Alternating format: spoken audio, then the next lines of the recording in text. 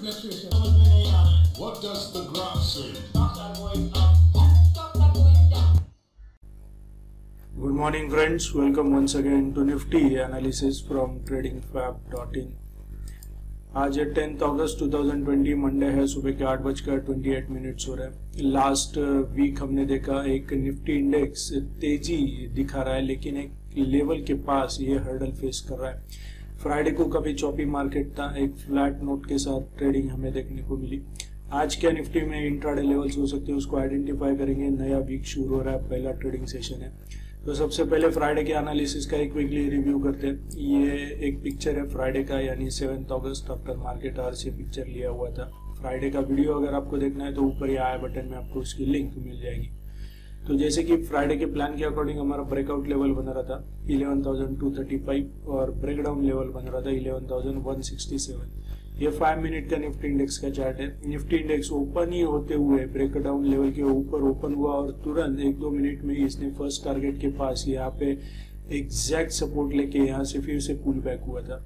और पूरा दिन भर एक चौपी मार्केट था, एक रेंज बाउंड ट्रेडिंग यहाँ पर देखने को मिली। कोई भी यहाँ पर अपॉर्चुनिटी नहीं थी। तो जैसे कि हमने प्री प्लान बनाया था मार्केट शुरू होने से पहले ट्रेडिंग का तो उसके अकॉर्डिंग यहाँ पर कोई ट्रेडिंग अपॉर्चुनिटी नहीं बन रही थी फ्राइडे को। तो ये था फ्राइडे के एनालिसिस का एक रिव्यू इनसाइड बार ट्रेडिंग हुआ था फ्राइडे को। चलते हैं, सबसे पहले ग्लोबल मार्केट के हालात देख लेते फ्राइडे यूएस मार्केट देखे तो नाजडेक भी एक चौपीनेस के साथ ट्रेड कर रहा था। हालाँकि बंद होते हुए 97 पॉइंट की गिरावट के साथ बंद हुआ। यूरोपियन मार्केट्स भी देखे तो खासा वहाँ पर एक मिला जुला कारोबार देखने को मिला। एशियाई बाज़ार आज ओपन हो चुके हैं तो S G X Nifty 27 point के बढ़त के साथ ट्रेड कर रहा है। हालाँकि जापानीज इंडेक्स हांगकांग मार्केट आज बंद है, वहाँ पर हॉलीडे है। तो हो सकता है आज इंडियन मार्केट्स में भी एक फिर से वो जो फ्राइडे को चौपीनेस देखने को मिला था, वो आज फिर एक बार कंटिन्यू होते हुए हमें दिखाई दी डाव फ्यूचर देखे तो 60 पॉइंट की इस समय बढ़त दिखा रहा है। तो एस जी एक्स निफ्टी और डाव फ्यूचर के मद्देनजर यहाँ पर हल्की सी बढ़त निफ्टी इंडेक्स में भी देखने को मिल सकती है। चलते निफ्टी के चार्ट के ऊपर। वीकली चार्ट से एक बार फिर से शुरू करेंगे। पहला दिन है वीक का तो मंथली चार्ट में भी क्या लेवल्स बन रहे हैं रेजिस्टेंस और सपोर्ट के, ये भी देखना काफ़ी ज़रूरी है। तो यहाँ पर आप देख सकते हैं, ये जो मार्च का एक लंबा लॉन्गेस्ट बियरिश कैंडल स्टिक है, इसका हाई और लो अभी तक ब्रेक नहीं हुआ है, इसके बीच में ये ट्रेड कर रहा है। तो अभी अगर ये टूवर्ड साउथ की तरफ़ जाता है तो 20 ए में आप देख सकते हैं कैसे यहाँ पर ये सपोर्ट टेस्ट कर रहा है 20 ए में का। तो इसी तरह से अभी अगर यहाँ से फिर से एक बार टूवर्ड साउथ की तरफ़ मूव आता है तो फ़र्स्ट सपोर्ट इमीडिएट एज पर मंथली चार्ट 20 ई का होगा जो कि अभी अराउंड 10,800 के पास आ रहा है। 832 है राउंड फिगर कर लेते हैं 10,800 के पास सपोर्ट है और ऊपर ये जो बियरिश कैंडल का हाई है ये अराउंड 10,433 के पास है तो 11,400 एक हर्डल यहाँ पर हमें देखने को मिल सकता है। इस रेंज में हो सकता है ये ट्रेड करे इस वीक 11,400 और नीचे 10,800 अगर कोई ट्रिगर आता है ग्लोबल न्यूज़ आती है पॉजिटिव तो यहाँ से हमें ये बियरिश कैंडल का हाई जो है ये ब्रेक होता हुआ हमें नज़र आ सकता है। तो एज पर मंथली चार्ट नीचे 10,800 का फ़र्स्ट इमीडिएट स्ट्रॉन्ग सपोर्ट होगा। यह था मंथली चार्ट का सीनारियो चलते वीकली चार्ट में। वीकली चार्ट में जैसे कि हमने फिबोनाची एक्सटेंशन को ड्रॉ किया था, अगर आप हमें कई दिनों से फॉलो कर रहे तो।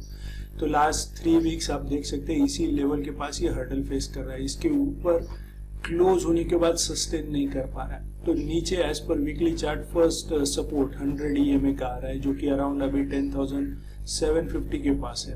तो 10,800 750 एक स्ट्रॉन्ग सपोर्ट जोन बन रहा है यहाँ पर अगर निफ्टी इंडेक्स टूवर्ड साउथ की तरफ़ आता है तो ये फ़र्स्ट इमीडिएट स्ट्रॉन्ग सपोर्ट होगा। अगर हम पास्ट को देखें तो जैसे कि हम यहाँ पर इस जोन में आने के बाद एक कंसोलिडेशन मार्केट में देखने को मिलता है। कई सारे वीक्स इस लेवल के आसपास निफ्टी इंडेक्स ट्रेड करता है। तो अभी तीन वीक हो चुके हैं, ये ऊपर जाने की कोशिश कर रहा है, लेकिन यहाँ पर हर्डल फेस कर रहा है। तो जैसे कि पास्ट में देख रहे हैं हम, कई सारा वीक यहाँ पर एक फ्लैट नोट के साथ निफ्टी इंडेक्स ने इस लेवल इस जोन में ट्रेडिंग होते हुए हमें देखा था। तो अगर ये जो अपर बैंड को अगर ये ब्रेक करेगा तो निफ्टी इंडेक्स में यहाँ से हमें ज़बरदस्त तेज़ी देखने को मिल सकती है। जो मंथली चार्ट में हमने देखा कि स्ट्रॉन्ग बियरिश कैंडलस्टिक का हाई उसी लेवल के पास आ रहा था। तो ये जो जोन है, इसका ब्रेकआउट अगर मिलता है तो ही निफ्टी इंडेक्स में हमें यहाँ से और ज़बरदस्त तेज़ी कंटिन्यू होते हुए दिखाई दे सकती है। तो ये था वीकली और डेली चार्ट का सीनरियो इस समय। चलते हैं डेली चार्ट में। डेली चार्ट की अगर हम बात करें डेली चार्ट की अगर हम बात करें तो ये फ्राइडे का कैंडल था, जो कि थर्सडे का हाई और लो के बीच में ये बन चुका है। इसके बीच में इसकी ये ट्रेडिंग हुआ यानी इनसाइड बार ट्रेडिंग है इनडिसिजिव पैटर्न है। तो जो थर्सडे का हाई और लो बन रहा था, ये अभी यहाँ पर ब्रेकआउट या फिर ब्रेकडाउन का काम कर सकता है। तो यहाँ पर ऊपर जाते वक्त आप देख सकते हैं ये लास्ट कुछ छः सात दिन पहले यहाँ से एक सेलिंग प्रेशर आया था ज़बरदस्त सेलिंग प्रेशर उसके बाद लोअर हाई लोअर लोज बने थे।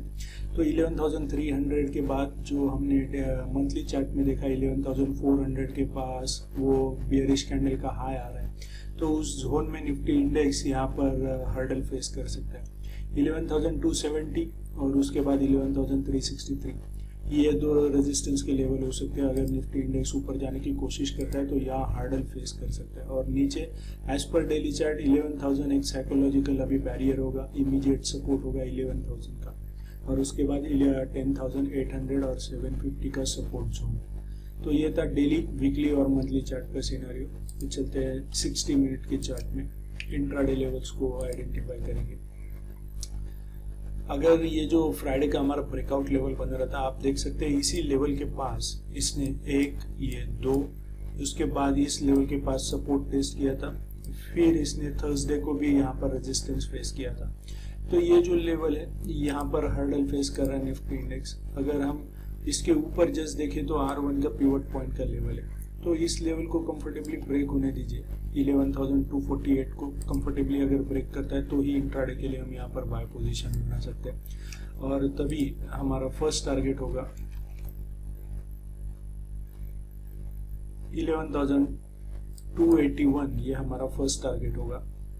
और सेकंड टारगेट होगा 11,296 ये हमारा सेकंड टारगेट होगा।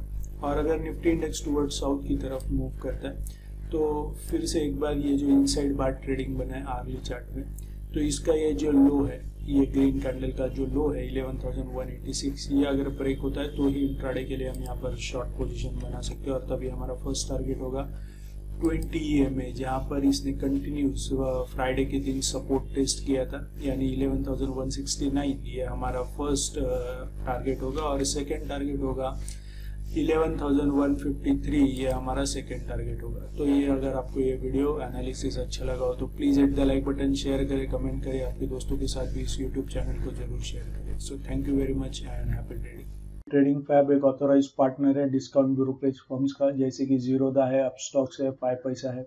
अगर आप इन तीनों में से कोई एक ट्रेडिंग अकाउंट हमारे पार्टनर रेफरल आईडी के अंडर अगर आप ओपन करते हैं तो आपको हमारी जो इंट्राडे प्रीमियम मेंबरशिप है वो आपको एब्सोल्युटली फ्री में मिल सकती है। उसके लिए आपको करना क्या है?